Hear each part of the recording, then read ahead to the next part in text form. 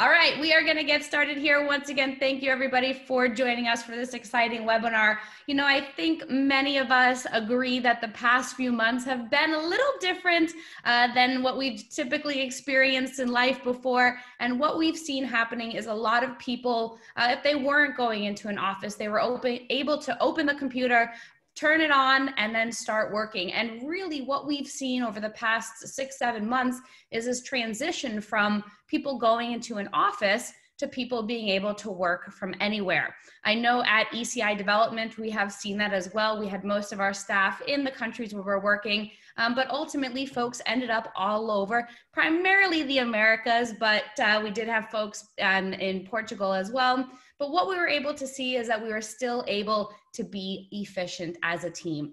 And over the past six, seven months that we've been dialoguing with a lot of you, what we've also realized is that many of you are also looking for a way to digitize your business.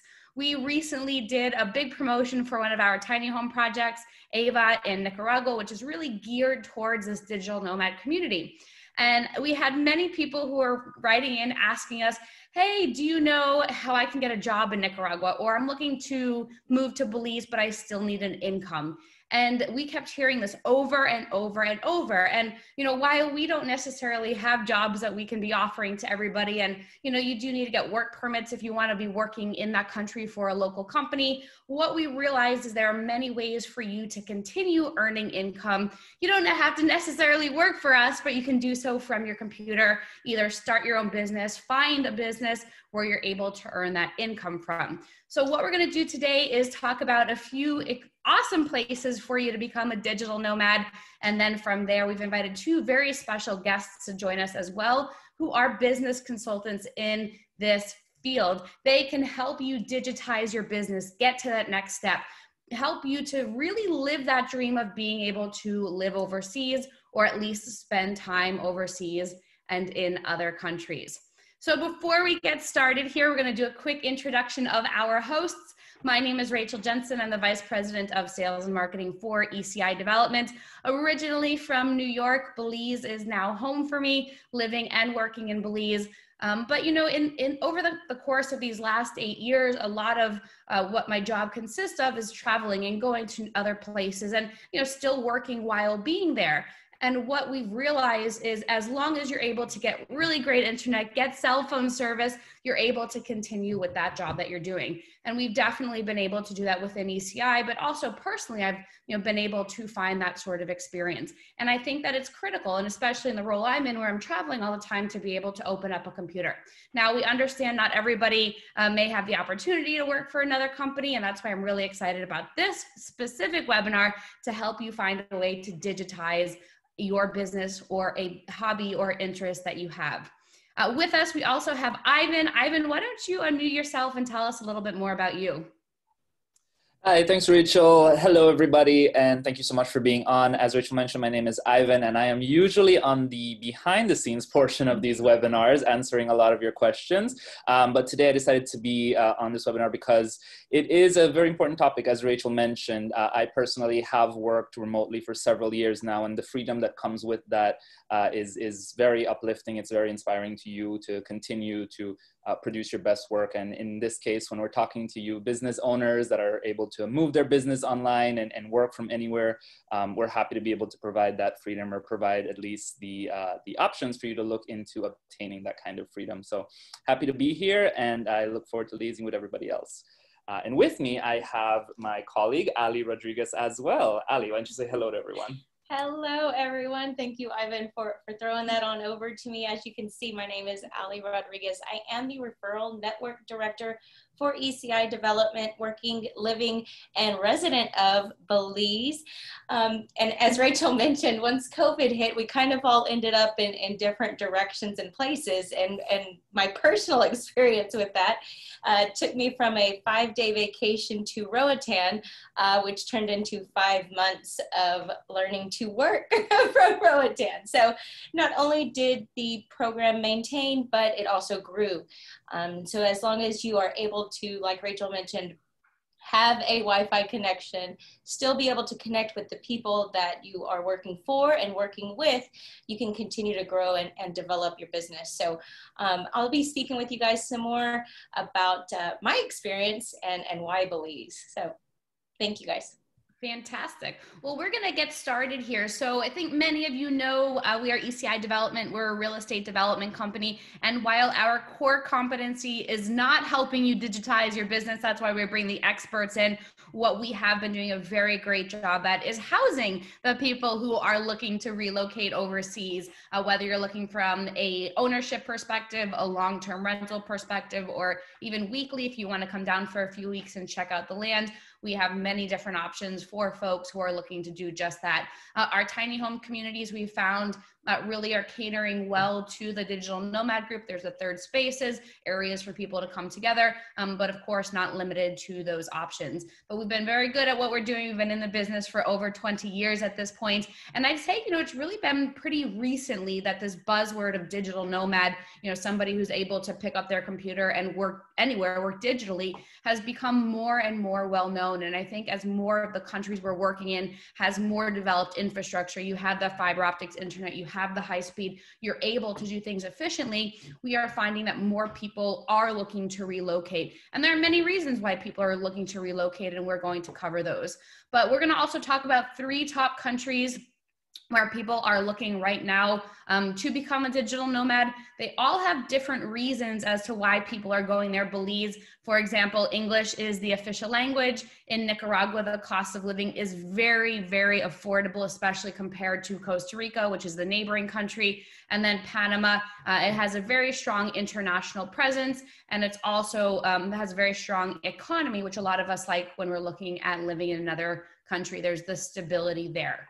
But a quick overview of why people are buying property overseas or why people are owning property overseas or even why people are going overseas generally. One is there's this global diversification concept where you're protecting your portfolio and perhaps you're looking at ownership of real estate overseas primarily as an investment and then maybe you'll come down and visit for a month or two open up your laptop do what you need to do and then rent it out the other times of the year. You're really protecting your portfolio adding in that country diversification. Um, and then of course that investment opportunity we just alluded to being able to invest in another country is really those two work together there protect uh, global diversification and the investment opportunity. And depending on the country that you're looking in some countries may have better investment opportunities than other whether you're looking for appreciation you're looking for that income that's coming in um, depending on the country you're in and depending on your home country, there are tax advantages. I'm not an accountant, I'm not a CPA. I can't give you a list of what this can and can't do for your taxes.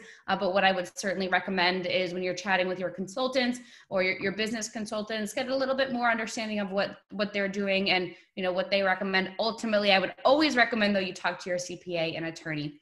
Um, in addition to that, there's a better quality of life. And this is really one of the core reasons that we're seeing a lot of people are making this transition of, you know, leaving their home country or leaving where they're currently living and moving somewhere else, moving overseas, especially in the area where we work, we're in Central America, your dollar or your whatever currency you're using, your euro, your dollar goes a lot further. The cost of living is a fraction of what you're seeing in more of these developed countries. And it really enhances your quality of life. And so a lot of people they're adventurous. They want to go live in Nicaragua for 2 months. They want to spend half a year in Panama. They want to relocate entirely to Belize like Ali has. And there you are still able to find opportunities and I think, you know, there are many of us who don't necessarily have the means or aren't able to retire quote unquote and do still need to get that income in. And again, the higher quality of life here are just some examples of costs of maid service for a month, $160.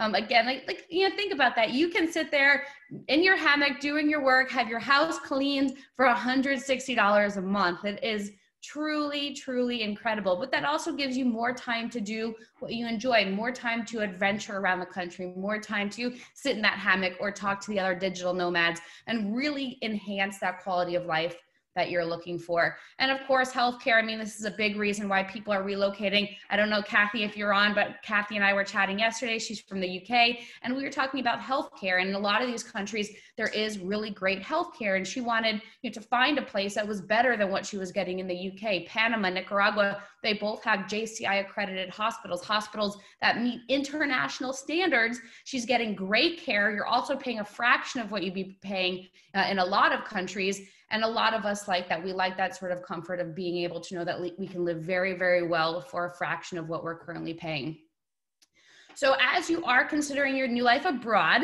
there are some things for you to bear in mind is do you want to rent or own? If owning, do you need financing and does that country have financing?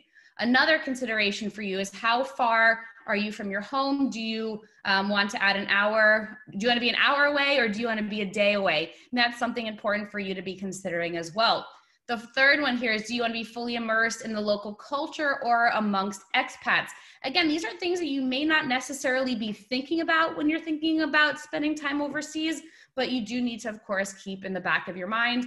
And then I've spoken to a lot of families that have children that will be moving with them. So, are you moving with those children? And if so, what sort of school do you want them in? Are you looking to homeschool them? Do you want to put them in an international school? Do you want to put them in a local school? Uh, so, these are really important considerations for you. Uh, and one that's not on here, and you know, I feel like I don't even need to talk about it because all of our properties have it, but is the fact that is there strong internet? Is there great connectivity to where you're going to be? And especially if you're looking in developed countries, you do need to make sure that you have that fiber optics like we have on the island and like we have at Gran Pacifica, um, or do you need to go somewhere different? So again, these are little things that really make a big difference at the end of the day. But you know, do you want to rent or own? Do you need financing? How far do you want to be, or how close do you want to be from your home country? Um, what sort of experience are you looking for when you're spending time in another country? And the reality is, we don't know what we don't know. Forget what you think you know. And this is, you know, I think really true for a lot of folks who are looking to relocate overseas. And if you haven't had the chance to spend time in that country where you're looking at, um, just you know, put aside those expectations, put aside any preconceived notions that you have, and go into this adventure with an open mind. And that's how I'm going to refer to it as an adventure. We don't know what we don't know, but as long as you're opening your mind, I think you will have a very interesting and fun experience. But as you're looking at property overseas, um, you know, one of the resources that we have for you is a global uh, property resource kit. And the Global Property Resource Kit is a document, a white paper that contains the 15 critical questions when looking at property overseas. Uh, we uncover three basic principles and in turn have about 15 questions that you have to ask. You really should be asking when looking at property overseas. If you want that guide, just email us uh, right now, guide, G-U-I-D-E, to info at ecidevelopment.com, info at ecidevelopment.com, and our team will get that over to you. But this is a really handy white paper for anybody who's looking at ownership of real estate overseas. Perhaps you've never purchased real estate in another country, maybe you have, but you didn't ask those questions. Do we do highly recommend that you ask for that. And then last, um, we're going to get started in just a, a, couple of minutes here. But what I do also want to mention is when you are planning to relocate to another country, um, you know, you have to understand what kind of visa you're coming in on. Are you going in as a tourist visa? That gives you the right to be in that country. If you're a digital nomad, typically you can open up your computer. You can stay there for as long as that tourist visa is good for. And then you either restamp it if you want to extend it, or they tell you that you need to leave. Um, all countries have different options. We'll talk about a couple of the ones that we talked about before so you can see what that looks like. The next step is a residency. It's essentially a green card. It gives you access full time to live in that country. Um, and while some countries have restrictions as to how long that visa is good for, some are permanent, like Panama, you have that residency for life. Now, if you're, and then citizenship, and then I'm gonna take a step back. But citizenship is essentially a passport and that will give you access to come in and out of the country with that document. And typically you receive a passport one of two ways, time, so you wait X amount of years after getting residency, or you pay a substantial amount for it. So just depending on what your ultimate goal is will depend on what path you take. Now, I also want to mention the working situation with these different visas. Typically as a tourist visa, you cannot work for a local company in that country. So if you're going to Belize, you come in as a tourist, you are not able to work um, for a Belizean company. But you can open up your computer, do whatever you're doing as you're hanging out there in the beach on your digital company. If you're a resident, that gives you access to work for a local company, and citizenship gives you access to work for a local company as well.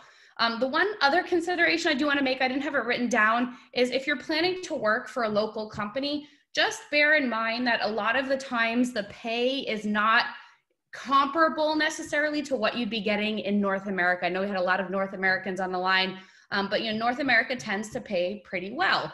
Um, and in, in Latin America or in other places, just don't expect the pay to be the same. Um, I know I had a fellow who was a, a truck driver and he was in the States and he was asking about truck driving in Nicaragua. And when I told him the, the salary for that, he goes, I don't want to do that. So you just kind of have to understand that there are going to be differences there. And that's why we think that this concept is probably going to be the most lucrative of digitizing your business, doing what you can overseas. We're going to go through this a little bit more at the end, but there are three top residency programs that we would recommend for the three countries, Belize, Nicaragua, Panama, but we will certainly go through that uh, at the end of the presentation here. So with that, what I'm going to do is invite our first guest, Glenn Carriage, to give us an overview of his service. And you know, Glenn got introduced to ECI about a year and a half ago. I think he was doing some Googling online, came across Mike Cobb, our CEO, and said, I really like what you guys are doing generally. Do you want to hire me? And at that point, uh, we didn't have any positions that were open. Um, but then a couple months later, Glenn came back to us and said, Hey, I'm personally in the process of looking to eventually move overseas, maybe move to Belize. Um, and I'm in the process of you know creating some online companies, and I want to help people do the same um, would you be interested in learning more about what I'm doing? And as we were having that conversation, and more of you were reaching out to us about jobs and hiring you or how to help you set up a business, we said there are some really, really great synergies here. So, with that, Glenn, what I'm going to let you do is take over here. You should be able to share your screen, and, uh, okay. and then we'll get started. All right.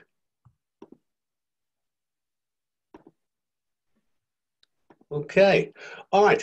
Thank you very much for the intro and uh, welcome everyone. Uh, great to be on here. And, and, Rachel's already touched on so many of the important points here. Uh, and uh, yes, I am on the same journey as many of you are about to start. And so as a, a business planner, uh, it's, it's my uh, exciting opportunity to kind of work with you on the move. And one of the things about moving uh, offshore is is your landing space, and that's really why ECI kind of came to my uh, attention because you've got communities that are already set up for a digital nomad, for for online worker, uh, a digital remote worker. And the internet, which has been mentioned several times already, of course, is essential, and that's something that ECI have uh, taken into account. That's not to say there's not many other places in the world you can go to. But but uh, I, am really comfortable in, in working with ECI to uh, to support their communities. So. Uh, um, and, and just to scoot around this screen, uh, there's me in the bottom left corner. Uh, you'll see that uh, the ECI communities at the top left, and that little kind of QR box in the bottom right, that's one of the newest kind of gadgets. If you've been attending restaurants recently, you'll know that uh, that's a scanner. So you can scan it with your uh, iPhone or smartphone, and that'll take you straight to the, uh, the internet address. And that particular one takes you to my website, The Expert Planner. Okay.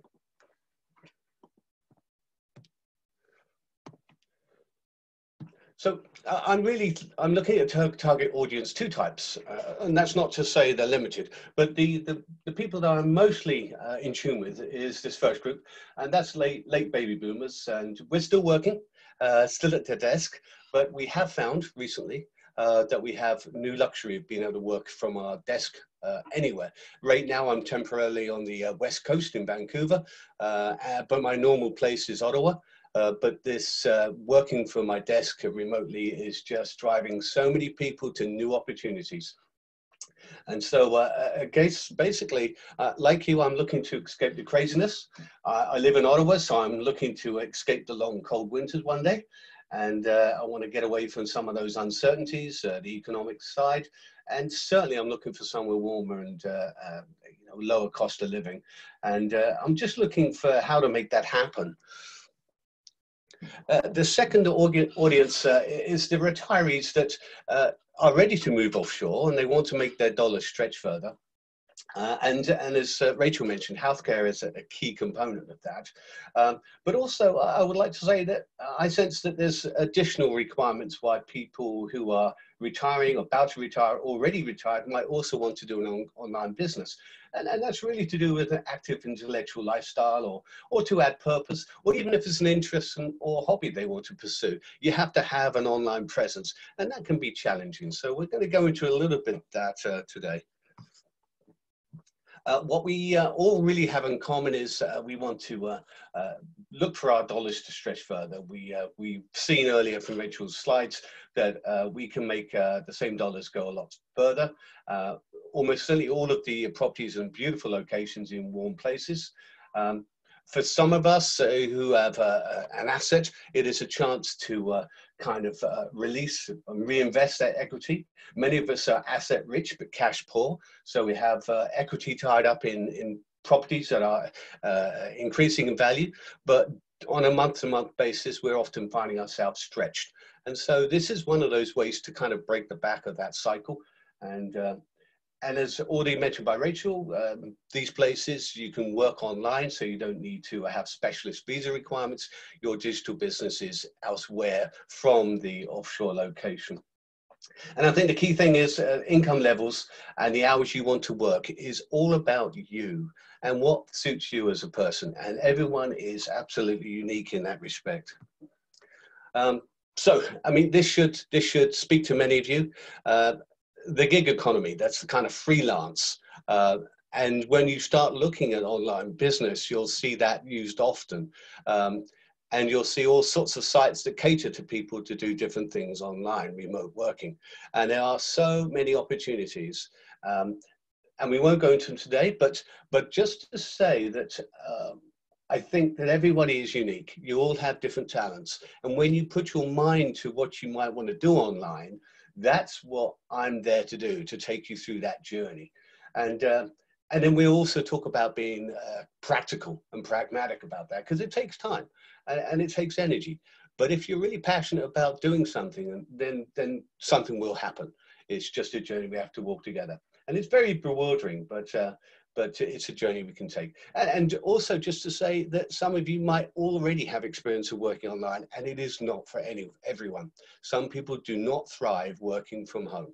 Um, what I can say is some of the communities that ECI have, uh, Rachel mentioned earlier, there are spaces where you can uh, go to to be uh, a kind of a, a business hub, uh, a separate from your home, because working from home is not always practical or the best thing for everyone. Um, and, I, and I think here, uh, the point I want to make on this slide is that uh, there's a very important fact here. Many of you, if you are a late boomer, would have already worked 30, 35 plus years, but you mustn't, I would say, let your career define who you are as a person. You have strengths and abilities and innate skills and talents that you, we're going to tease out through this journey. And they may be, in fact, entirely different to what you did all that working career. Might be the same, might not. Um, so, so that's an interesting point because you are not defined by what you did through the sum of your corporate working life.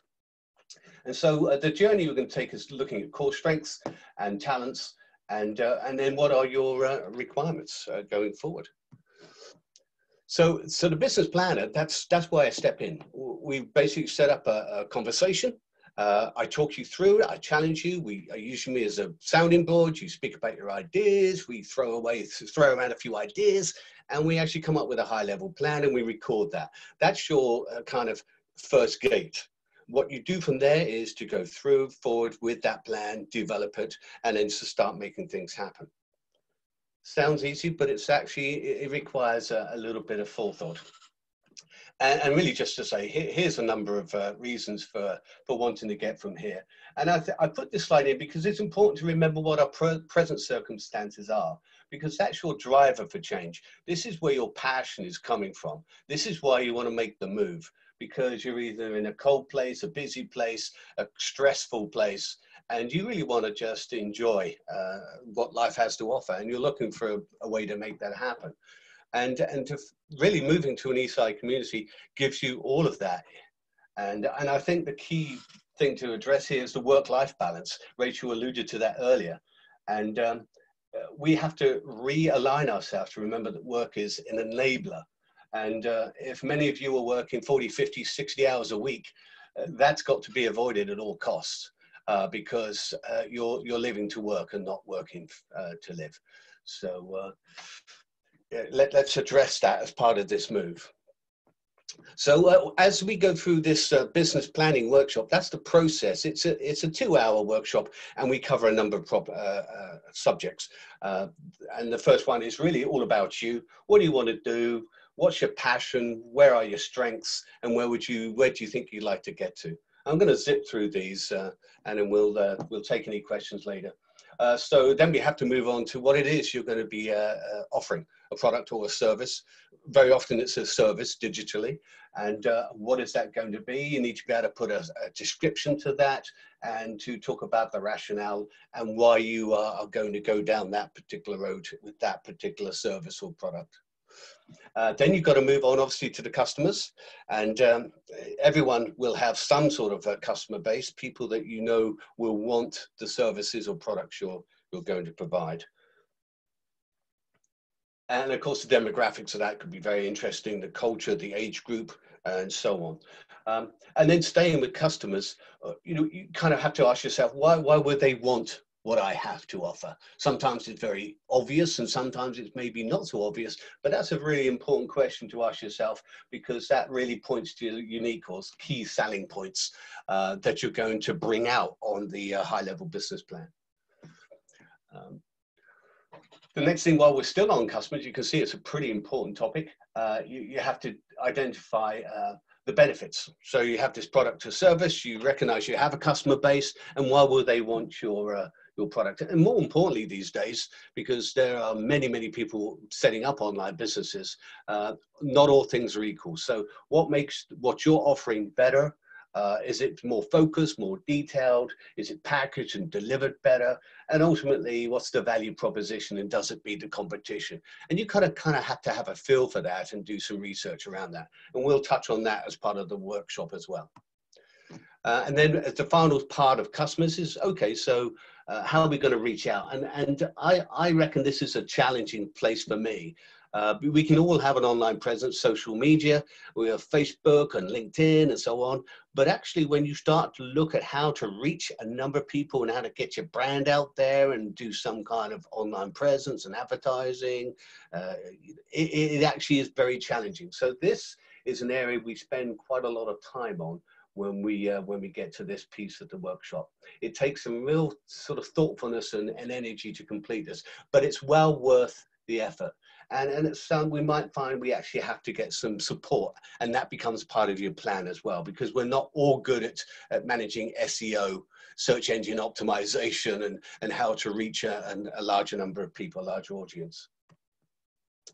Um, and then we actually get to uh, back to the product or service. How are we going to, uh, to, to put that together? If you need special software licensing or special technology or capability to, to get into that service and offer it, great. You'll need to make sure you have that identified. Do you need special training? Will you have to go on a training course, etc.? all of that needs to be just kind of factored in because that's part of your plan from here to as part of your journey. And then uh, we come to the point of uh, really, what does this all mean? If you're a retiree and you want to kind of add 500 US dollars a month to your budget to live comfortably, have a little kind of uh, a piece of revenue on, a, on the side to enjoy life, fine. But but if you're looking for something much uh, much greater, then then you have to think bigger and you have to adjust your plans accordingly. But but really, this is very unique. Only you can decide what makes you comfortable in terms of your needs for this online business. Uh, and then, of course, the, the other side of the coin is, is what are your costs going to be? Um, there will be some startup costs, yes. You, if you're going to create an online uh, course, there's some cost, time as well, opportunity cost. Uh, and uh, you need to just identify what that is. If you're producing something and then sending it off overseas, then there are uh, all sorts of associated costs and complexities and policies and rules to factor in as well. And so we'll cover that as well. It's, it's quite a wide topic. And then really last but not least, what are the main risks? Let's identify right from the get-go. Uh, we identified probability, how likely are they to happen, what's the impact if they happen, and, and how can we mitigate against them? What's our plan going to be if, if, they happen? And we also talk about a financial buffer, a kind of contingency.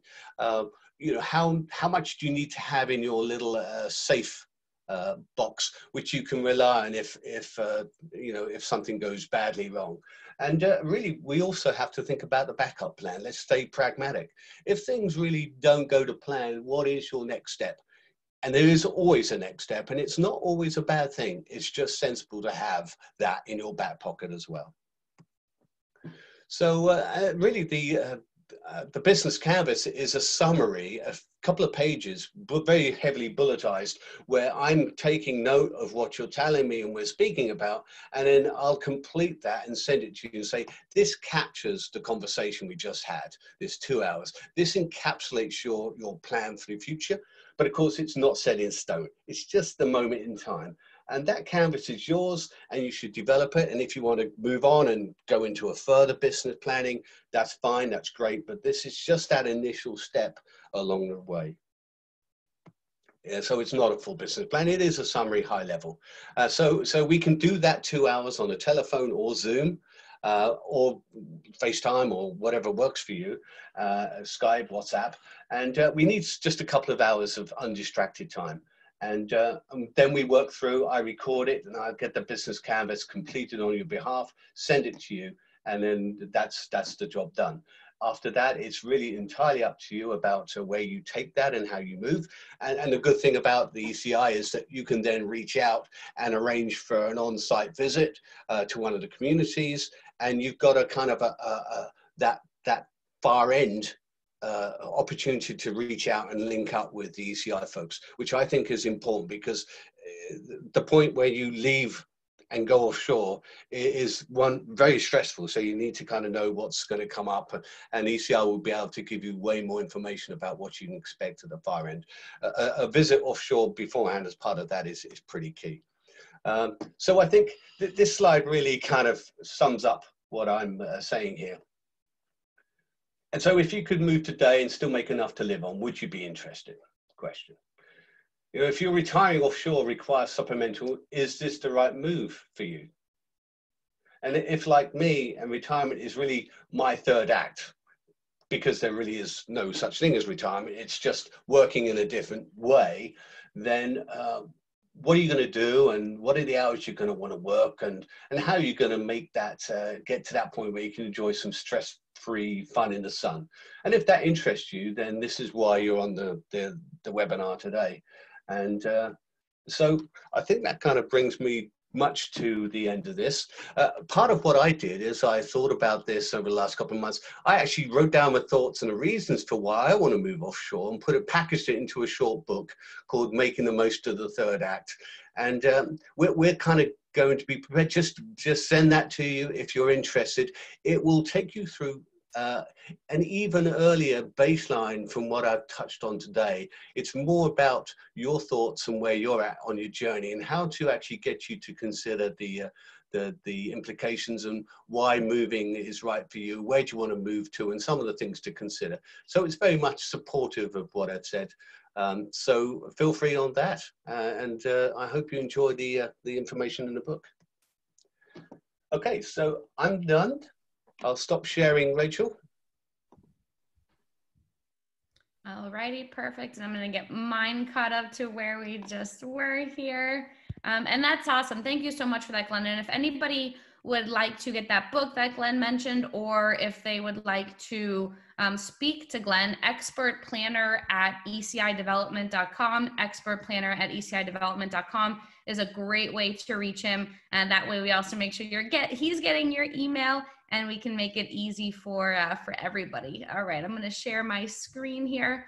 Um, the next one we're going to that thank you glenn that was awesome i think you really covered a lot of the the information that people would like to know about you know what the next steps look like. And i think you know many of us really need that sort of hand in in understanding that next step. We have this idea, we have a concept, or we might just simply not know what to do next, but know that we would like to live overseas. So, in addition to um, Glenn, we're going to introduce you to Pete Sisco. Um, Pete is a, another digital um, strategist, and he did a, a, recording for us. So, you're going to just let me know if you can hear it. Um, but he's going to cover a little bit more about his services as well and uh, and then you have the opportunity to reach out to Pete as well. And Pete Sisco from. Can you everyone hear it? Just type into the control panel. Thanks for inviting me to participate in this webinar. If you want help creating online income so you can be an expat, it seems to me you'd want to find a person with three qualifications and abilities. One, find a person who totally relies on online income he built himself. And ideally, no, I'm saying no. Yes, it's too quiet. To it would also be best if he's done it with more than one online business model. Two, make sure that same person uses his online income to actually live as an expat Perfect. and knows those special challenges, like working from an island with frequent power failures or from hotel rooms eight time zones away from your customers. Three, see if that person will actually help you privately, one on one, every step in the journey from zero to cash flow. Getting all three of those simultaneously and at an affordable cost would almost be too good to hope for. So let me very quickly tell you my story. I'm in my early 60s and I've been an expat since my 20s, but it was about 25 years ago when things took an important turn. Way back in 1996, I created my first website, and it's still profitable today, along with some others that my wife and I operate. Here's an Internet Archive image from 1997. I made this website only to tell people about a couple of books I had written. Soon, a new company called Amazon had a commission plan, and that led to me getting an affiliate check for $300. And that $300 sent my life in a different direction, and I'm very glad it did. In 2001, I created an ebook at a time when people barely knew the word. That single ebook went on to make me over $2 million, and I still sell it and others today.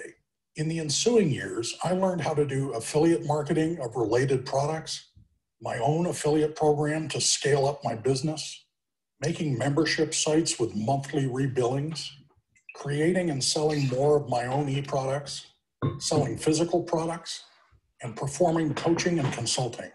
I've been doing all of this for over 20 years and made several million dollars in that time. I want you to know that because it satisfies qualification number one learn from a person who lives from online income he built himself. I started devoting myself to online business when we lived in Idaho. Soon we were able to support a family of eight entirely from online income, and we lived well. When our kids moved out, five of six of them became expats on their own, and Connie and I began traveling the world for 15 years. We've spent time living on four continents, one of our favorite places is Belize. We did several years spending four to six months per year in San Pedro on Ambergris Caye.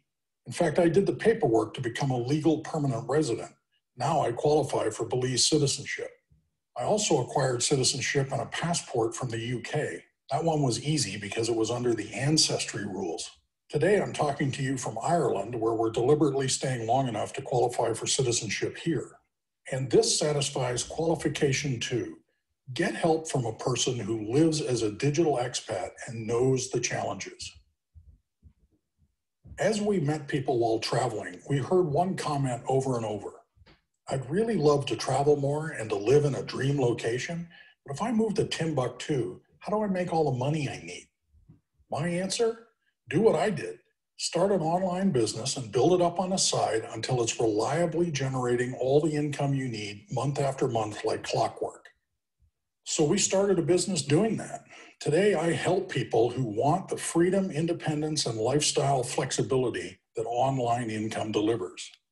I work one on one with clients to help them decide what type of business they are suited to and that would satisfy their goals. We examine the proven business models and discuss the true pros and cons. You get answers regarding your specific situation, your specific goals, and the specific issues that arise from your business. I can help you every step of the way, whether you're starting from scratch or adapting an existing business or profession, which satisfies qualification number three. Learn from a person who will actually help you privately one on one. Visit our website, join our mailing list, and send me an email. Later this week, you and I could be talking on the phone. Try finding all of that anywhere else. Thanks for watching. Fantastic. Well, uh, that was a great one from Pete as well. And if anybody would like to get in, Pete, in touch with Pete, let us know. We're happy to do a direct introduction to him. Um, you also have Glenn here, who's going to be doing Q and A with us. So if you have any oh, questions, oops, sorry, feel free to type that into the control panel. All right. So next, we are going to uh, jump into the country a little bit more specifically with the countries and I just realized I wasn't showing the video, but it's going to be jumping over to Ali Rodriguez now. She's going to be telling us more about Belize. As she mentioned, Belize is where she currently calls home, originally from Texas. I don't want to steal all of her thunder, um, but Ali, why don't you uh, jump into Belize and why Belize may be a good place for people who are looking to become digital nomads? Absolutely, Rachel. Thank you. So, um, like Rachel mentioned, I am originally from Texas, um, San Antonio to be specific. Um, and upon moving here, kind of the, the running joke uh, with my friends and, my family was, oh, you're moving to Belize. Uh, that's by France, right? and, and there sometimes you just really don't know where these hidden gems are located. So um, upon upon leaving Texas and landing in Belize, there were many reasons why uh, my husband and I chose to stay and become permanent residents, and we'll kind of walk through those fairly quickly here because I know we are running short on time and we have some other great content to cover. So, um, so some quick oh, little double click there. Sorry, guys. um, some quick facts about Belize. So Belize is quite small. Think about uh, the size of uh, New Jersey. In fact, quite small. Um, it has a very small population density uh, if not the lowest in, in the Central American region. So um, you can see there it's located just south of the Yucatan Peninsula in Mexico. Um, we are bordered by Guatemala on two sides, and then right below us is, uh, I just like, what is us? Sorry, I got to reading and then I, I uh, lost my train of thought. So it's, it's right there where you can see located very close in proximity to Panama and, and Nicaragua, which we will talk about later on here in the presentation. Um, as well as being located to these other ECI properties and countries, it is super, super close to North America, um, which some of you are joining us from, and you know that that makes a difference when you're planning on you know leaving your home and leaving your family um, that how quickly can i get back if i need to? And this is one of the one of the biggest reasons that um, Belize really felt natural and, and comfortable to us is that within, you know, two and a half to three hours, we could be back um, it, it, home in San Antonio. So um, there are flights that that uh, you'll see here on the next slide from different points within the United States and Canada. Uh, that can be accessed and, and as Belize has grown in popularity for both vacation and retirement destinations, so has the flight schedules and, and the amount of flights that are being offered from these different locations uh, from the United States and within the region as well.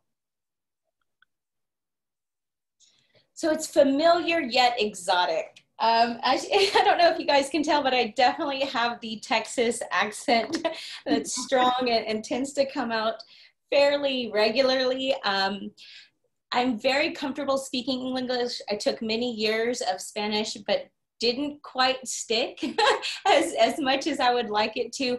But English is the first language here in Belize. And as a common law country, uh, the paperwork that you would go through for residency or for your work permit are in English. The immigrations officers that you would speak to and have interviews with are speaking English. And so it makes it a very comfortable and, and familiar conversation to be having with somebody so that you are really truly understanding what it is that you need and what the next steps are that you will need to take and understanding the laws and, and the outline of setting up your business or um, just interacting with the general population in Belize. So um, there, of course, we are bordered by Spanish speaking countries. So, you know, over 50% of the population here in Belize do also speak Spanish. Um, so if that's something that you're comfortable with speaking, then um, you can always, you know, go to the uh, fruit and veggie stands that are on the side of the road and, and order your veggies in Spanish and uh, they will most likely understand you. So um, very easy to, to acclimate to the community here in Belize water activity. So um, Ambergris Caye here in Belize is where I live, and it is a an island off the coast of mainland Belize. And there are activities here that are bar none to anywhere else in the world. Um, fishing, of course, we have ex excellent fly fishing um, sites. Diving is incredible. You can see the reef right off the island here. Um, National Geographic is, I think, was filmed like right outside the door here. Um, it's absolutely beautiful, very active uh, marine life. Um, snorkeling, kayaking, a huge movement that's happened here recently was uh, stand up, stand up paddleboarding. Um, and all of these activities are easily accessible and something that you can do if you become this digital nomad is find the time during the day in the sunlight hours to be out and exploring these different activities that Belize has to offer to you. Um, and in addition to that, even though it's water activity centered here, but we also have a lot of land activities that um, you can see up here on the screen are just some of the more well-known uh, festivals and activities that we have throughout the year. Um, Lobster Fest is a huge thing down here, as you may or may not know that the island does uh, have a huge fishing community um, and a lot of their uh, revenue is generated from the, the fisheries and, and, the fishermen that are here on the island. So that's, that's a huge, exciting time to be here. That is in June. Uh, so if you have a chance to make it down for that, I highly recommend it. Um, there are people everywhere. Vendors are, are putting out their best lobster dishes, and it's just a fun and exciting time um, here on the island. But also, um, just a quick kind of note to the nod, I guess, to the mainland is there are the Mayan temples, there are cave tubing and zip lining just, you know, an hour flight away in any direction um, to these other exciting things to see and to, to experience. Um, just a quick touch on this. Um, one of the things that I didn't understand before moving here was how was I supposed to get my money? like how, how do I, what do I do when I need to make a large purchase or, or when I want to purchase that home or if I, when I want to build a home, how do I do that? What do I, who do I talk to? Um, and so here's just a suggestion. Caye International Bank is the only international bank headquartered here on Ambergris Caye. Um, they go through a range of services um, from traditional to non-traditional. They also do um, exchanges and things in other currencies. So uh, definitely if you are looking at, at that as something that is a concern or a consideration that you may have about moving, uh, especially here to Belize, please check out their website or reach out for more information specifically on banking in Belize. Oh, there we go. Okay, so I chose, I personally um, chose to go the permanent residency route that you can see here on the screen, there is a retired persons program. Now with that, of course, you are not, uh, you are not allowed to work because you're retired. So um, if you're looking to come down as a digital nomad, that's probably not the right program for you. But um, my husband and I went through the permanent residency program. We did uh, meet the requirements of living in the country for at least a year. We were able to leave for 10 year, 10 days, rather 10 days, um, to go back to the States for my dad's wedding. We came back and we stayed. Uh, we went through the work permit process. We did set up a Belize company um, working online and um, helping to market for the companies here on the island. So we did go through both of those processes um, and can speak to anybody who has questions about what that looks like or how it felt to go through that process. I'd be happy to chat with you a little bit more about about how that works. Um, and I do right here, Rachel, uh, the next slide here is about the residency through investment. Um, yes. And you can jump in and talk about that one. But I do want to say one thing before I throw it over to you is that I wish I had somebody uh, that could have answered these questions for me before I came here. So thank you, thank you to put, for putting this webinar together, number one, and bringing in some experts to help guide and, and help people with making those decisions. Of course. Well, well, thank you, Ali, and I'm excited that you are part of our team. Um, and you know, Ali, obviously, and her husband Juan are based in San Pedro, made the move as she mentioned. So she really is a great resource for anyone who's looking uh, to come down. And you know what I realized, Ali, is that we didn't mention our international referral network as a mode for people to earn money while being overseas. But we can always do um, a little a little introduction to that at the end because I think that is such an awesome, easy way for people to help others who are looking at property overseas while earning a nice referral fee for it. All right. So uh, here, our, our newest residency in Belize is more of an investor residency. So if you're looking to invest in the country, whether it's ownership of real estate or setting up a trust, uh, you can do so. It has to be a minimum of $250,000 invested. You can add dependents up to 18, or you can add a spouse. You don't need to live in the country, and it can lead to citizenship. So this is great if you're planning to kind of come in and out of the country. You're not sure necessarily if you want to live there for however long, um, like the permanent residency where you have to to be there for that first year. You can leave up to 14 days. But this is a great residency. It's really, really new, so you won't find much information about it online. But what a lot of um, folks have done at this point is paired it up with ownership of a Marriott condo. And from there, they either live in there full time or they can put it in the rental program and, uh, and make all that work.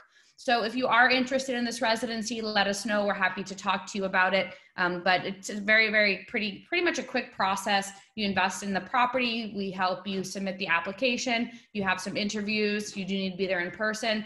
And then you receive a temporary residency card, typically within one month and then you renew that residency card every five years. And then after the fifth year it becomes a permanent residency. And then you could apply for citizenship if you want.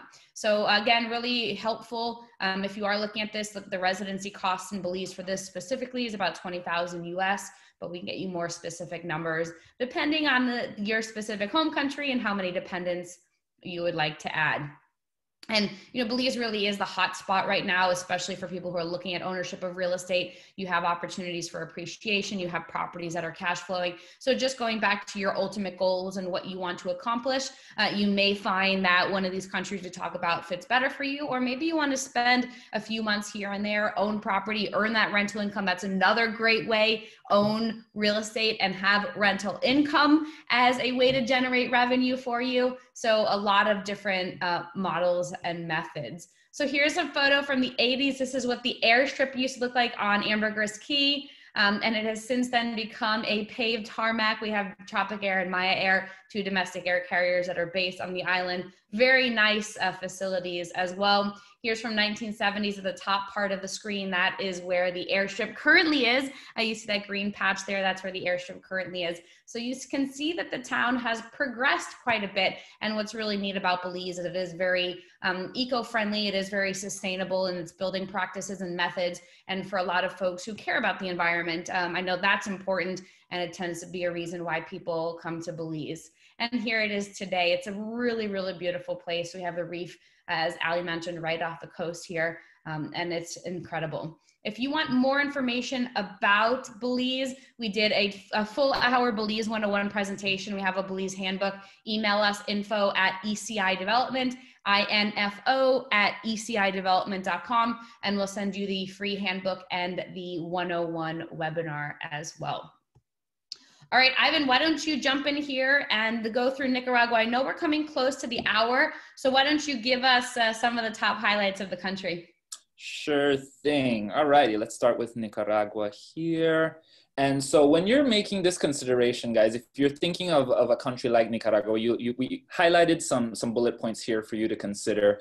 Um, and we actually did a presentation all about Nicaragua. We called it the Discover Nicaragua um, webinar, which was done earlier in the summer. And we go very much in depth here on all of these um, considerations here about why Nicaragua might be the proper country for you.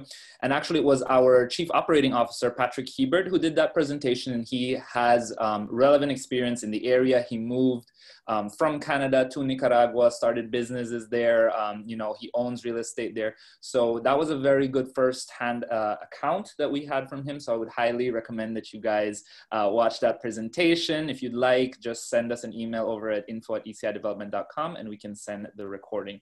Uh, so let me go through some of these things here. But first of all, you know, remember, where is Nicaragua? And so Nicaragua is, is located uh, a little south from uh, Belize in Central America um, a little closer over there to Panama as well. But it still has that good proximity, similar to Belize to, uh, to North America. It's still very close. There are uh, several air carriers that will uh, transport you over to the country so you can enjoy and, and potentially live there. Um, so it is, it is in a very central location and very convenient as well, similar to Belize.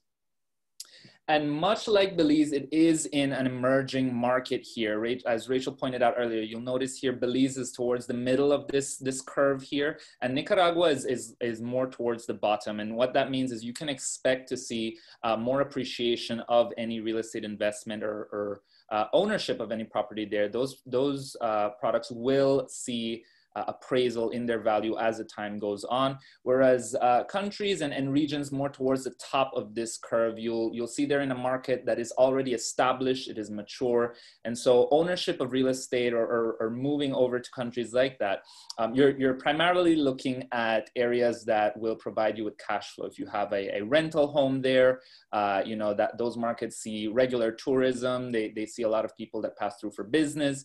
And so the rental revenue is high in those areas. Now, the considerations that we mentioned earlier about uh, Nicaragua, so one of the, the, uh, the more important things to note is that it's a very, very, very safe country, especially when you consider the, the general region. And Nicaragua um, statistically has had the lowest in, in crime rate for the region. It's, so it's a very safe uh, and secure country. Uh, and and it, online, you, you may see some, some uh, some disparaging commentary from different media outlets. But like we mentioned, from firsthand experience, we have businesses there. ECI Development has created a very strong, uh, uh, secure community at Gran Pacifica. And we have the local community there that also supports um, everything that we do. And, and a lot of them ha have spoken towards that, towards the safety um, that they feel in the country. We have a lot of expats that live within the community and they too express the same sentiment. So it is a very safe and secure country that you will feel comfortable living in. And another thing to consider is the affordability of, of home ownership there. You take a look at similar property uh, in the United States there for, for Pacific beachfront uh, real estate, and you're looking at close to a million dollars for, for a one bedroom home there. Whereas in, in Nicaragua, you'll find something very similar for under 200,000. So the comparison and, and the contrast there is, is, is huge, right? And, and if you think about that, um, you know, a lot of times the first thing that you will wonder is, well, can I can I even afford to move to this beautiful country? Well, yes, the answer is sometimes you you definitely can for a lot less um, than than what you might be thinking. So this is another uh, very important point that we want to make about Nicaragua. And then, of course, once you move there, what, what is the cost of living? Nicaragua has an extremely low cost of living, again, in comparison uh, to the region. The purchasing power of the US dollar is about three to four times as much in Nicaragua And the average that we've, we've uh, run some estimates on is that $1,000, like we said, about between $1,000 to $1,200 uh, is enough for you to live in Nicaragua. So it is, it is definitely very affordable. It is one of the locations that a lot of the, the people that Rachel mentioned that were, um, the, the people that we serve that are asking about moving to, the, to these different countries and working there, um, they, they are considering it for that low cost of living. Oops, did a double skip there. And then, of course, you have some easy residency programs as well. So the pensioner program uh, that you see there, you must be age 45 to, to qualify. Um, and you must be able to prove that you are able to receive only $600 a month from your pension in order to qualify for that residency. Now, alternatively, if you are not at age 45, but you'd still like to um, acquire the residency, there is the investor program. And so you don't, there's no age requirement for that. Uh, the minimum uh, requirement there is an investment of about $30,000 in Nicaragua. Uh, you receive a five-year residency, which is renewable, and uh, you basically are able to live and work in the country, and you're even able to run your own business in the country, which is very, very exciting. Um, I know for a lot of people who are considering uh, moving to this country. And of course, there is that amazing year-round climate. It is tropical year-round, sunny, warm weather, high 80s, low 90s year-round, uh, which is perfect. Like Glenn mentioned earlier, considering your current situation, you know, you think about the cold winters in North America, uh, you know, that does not happen down here in Central America. It's always summer year-round, which is a, a very uh, important consideration to make there. And similar to Belize, you have a ton of activities to do. Uh, there's fishing, surfing, snorkeling, uh, to name a few if you're looking uh, towards the water. And then of course, uh, towards the mainland, you have nature walks, uh, beautiful, gorgeous scenery where you can go dirt biking, hiking and exploring. Just so, so much to do when you are in Nicaragua. So I, again, when you look at these countries, you, you think about the financial aspect of it. Yes, is it affordable? Yes, you know, the cost of living is down, but also what is the, the quality of life there? And, and these countries, believe Belize, Nicaragua, Panama just have so much to offer in the way of um, quality of life and of course the activities that you can enjoy. So as mentioned, we did record a previous uh, webinar where we went way, way more in depth about everything uh, going on in the country uh, and some details about the residency programs as well. So be sure to request uh, a free copy of the webinar and the handbook. Uh, you can see right there's uh, info at granpacifica.com. Alternatively, you can also request it at info at ecidevelopment.com and we'll be happy to send uh, both the recording and the handbook over to you. Uh, thank you so much, Rachel, for that time. I will go ahead and hand the reins back over to you. All right, great. And we're going to just buzz through these slides. I appreciate everybody who is still on with us. Last but not least is Panama. I know Panama is a very popular uh, location for a lot of you who are looking at relocating overseas because there are many benefits to being in this country. So I'm going to guess most of you know by now where it's located. Uh, it's considered the bridge of the Americas, bridging uh, North America to South America. Um, in addition, so Panama has been a very popular place for expats for these following reasons. One, there's a strong economy. You like knowing, we like knowing when we're investing in a country where we're living there that it's stable, that it has a strong economy. The Panama Canal is definitely the ATM machine for the country, but also a strong banking system. I think there are over 60 international banks based there in Panama. So it tends to draw a lot of people, a lot of international people to the country. Easy Airlift Copa Airlines is hub, the primary hub is there in Panama. So you have airlines and, and flights going to North America, to Europe, down to South America, making it very easy and convenient to get to. Very diverse ge- geography and then easy residency programs. And it's probably honestly one of the easiest residency programs in the world that I have found at this point. Um, one of them is a pensionado program. For that one, you have to be um, drawing a pension and showing that you can draw a pension of $1,000 a month, cannot work in the country, you can um, obtain discounts the one that most people tend to apply for and whether it's digital nomads people who want to secure plan b have some insurance in their back pocket is the Friendly Nations visa. And the Friendly Nations visa, you only have to visit one day every six years in order to maintain it. Um, a few different ways that you can obtain this residency. One of the most popular um, is through investing in a teak farm that we have. So you have that investment side of it, you get the residency. Um, but there are a lot of benefits. You can open a business if you want to have a full-time business down there. You can find employment. Uh, a lot of these sort of benefits that come with that digital nomad landscape. Um, Friendly Nations visa, we just talked about this a little bit, but you can live and work full time in the country. It's permanent, so you don't need to reapply, visit one day every six years, and it can lead to citizenship. So, you, like we said, you can pair it up with a teak um, investment option um, with your personal freedom package that gets you the residency, um, a corporation if you want a Panama corporation, the opening of a bank account. Some of these are requirements for that residency. And you have your most important asset protected you and it also gives you the flexibility of coming and going from the country. And what i know a handful of digital nomads have done and uh, like pete mentioned earlier is he has residencies and citizenships all around the world. And there's no disadvantage to having residencies all over the place. That'll give you unlimited access to these countries. You can spend as much time there as you please. Um, and not be on that tourist visa and you know tourist visa is good for every now and again but you really want to know that you have the right to be in that country for an extended period of time. If anyone's interested in the residency, we can go through that. But like we had for Belize and Nicaragua, there's the Panama Handbook and the Panama 101 presentation. If you want either of those, just email us info at ECI Development. That's the Panama Handbook and the Panama Residency, or Panama Handbook and the Panama 101 webinar. Just let us know info at ECI Development. Com. Um, a couple considerations. I know many of you are looking at real estate with us. We do accept cryptocurrency. Uh, we do have financing options for our property ownership, in most cases up to 80% financing, 80%. Uh, and then we also have turnkey solutions for you. So, um, you know, it's nice that we have Pete and Glenn who are there to help you digitize your business, to help you get to that level where you feel comfortable of making the, the move overseas or spending considerable amount over t- overseas. And pairing those two up really help you to achieve that personal freedom, help you to achieve your dreams. You know, I don't know about you, but I grew up in New York. It was cold. We had horrible winters, and moving down to Belize in Latin America has been amazing. You know, I feel like I'm a, a snowbird, a retiree snowbird without retiring at this point. But it's neat to know that you do have that flexibility and the options to do so. And what we have found is that a lot of folks who are looking at becoming digital nomads or digitizing their business um, tend to be interested in reducing their carbon footprint, want to have different opportunities around the world, places to go for X period of time, rent out their homes when they're not there.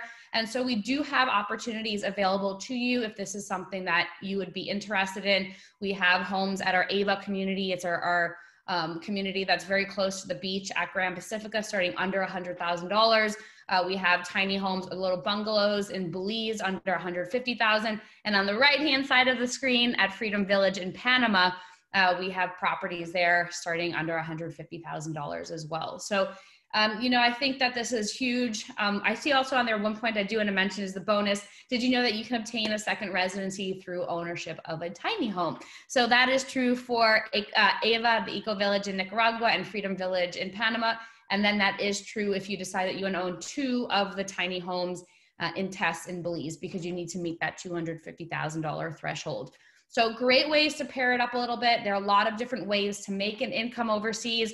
You know, I think like Pete and Glenn talked about having your business set up on the side, get that figured out while you're home in your home country now, get that organized. And then when it comes time for you to make the move, you're ready to go. You have everything you need. You have that income coming in. You can go to your different properties, the trifecta of tiny homes. You can make money from the rentals. A lot of really neat ways to, uh, to, to keep it going. And if you're not interested in tiny homes, perhaps you want something a little bit larger. These are about 500 square feet. Uh, let us know and we can certainly talk to you about other options as well. And we always encourage you to join our growing internationally minded family. Uh, I know for a lot of our owners and and clients, it's neat to be able to spend time in a place where you're able to talk to your neighbor and you know talk about what it's like to relocate or spend time overseas because a lot of times you talk to your neighbor in your home country and they're like why in the world would you want to leave this beautiful place of Ontario? Or why would you want to leave Miami? It's lovely here. And, you know, they don't really see the bigger picture. They don't see the picture that you see. And being able to join a community like that is so powerful in so many ways that you really don't understand until you're amongst like-minded individuals. So we always encourage you to, uh, to learn more about us, uh, meet some of your, your future owners as well. Just a recap of the tiny homes. Um, and then any questions. So I know that I apologize, guys. I know we have gone over. Um, we do like to keep them within the an hour period. But what I'm going to see here is um, Irvin. So good question, Irvin. He says a simple question: How good is the internet in these different places? Bandwidth reliability uh, in the different ECI communities. Really great question. So in Belize and also in Nicaragua, we have fiber optics. Uh, we were actually one of the first, I think, first um, development within Nicaragua, perhaps even Central America, to have fiber optics on our property. Um, so the internet is is good. Um, also at Ava, we have satellite internet, so there's internet there as well. Um, and then in Belize, like I mentioned, we have fiber optics. And you know what's also important for you to understand, Irvin, is that our business units are being operated out of these countries. You know, we have our full staff in our Belize offices, in our Nicaragua offices, uh, in Panama. And so we, as you, like you, would depend entirely on the internet. If we don't have internet, that means our emails are stacking up. We're not able to get on the phone with our clients. So it is very important for us, especially when we're looking at new places, to make sure that we're able to have that sort of bandwidth and reliability as well. So um, I know it's a very general question, but uh, it is strong. It is certainly doable for um, for a lot of people who are you know doing the day to day and and um, working on their, their computer, uploading files, downloading files, you know, streaming Netflix. I don't know if you do that when you're working, but um, whatever it is that you want to do during your general business. So I'm not seeing other questions come in here. I think a lot of them were answered throughout the presentation. Thank you, Ivan, for getting those answered on the side. So what we're gonna do is wrap it up here. Um, I wanna say thank you to everybody for joining. If you wanna get in touch with Pete or with Glenn, email us info at ecidevelopment.com. I know we've given you a lot of email addresses. We get all of them. Um, but the simplest one is info at ecidevelopment.com. We'll make sure you're connected to the right folks. And uh, Glenn, thank you so much for joining us today. We really appreciate it. Do you have any last minute uh, thoughts or anything you'd like to share? Uh, just that I'm on the journey and can't wait to achieve the same uh, objective as many of the uh, people on the call. Fantastic. Thank you, Glenn. Ali, Ivan, thank you as well. Everybody, we really appreciate your time. We hope you decide to become a digital nomad beside us, and we are here to help you throughout that journey. Have a great evening. Bye bye.